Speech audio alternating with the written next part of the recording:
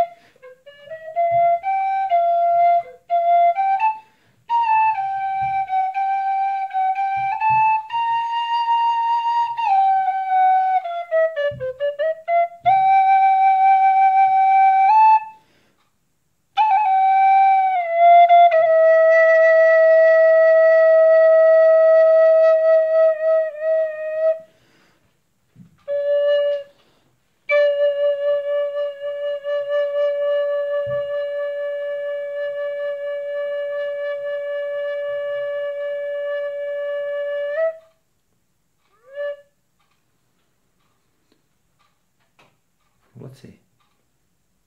Posnikova. Prolaze.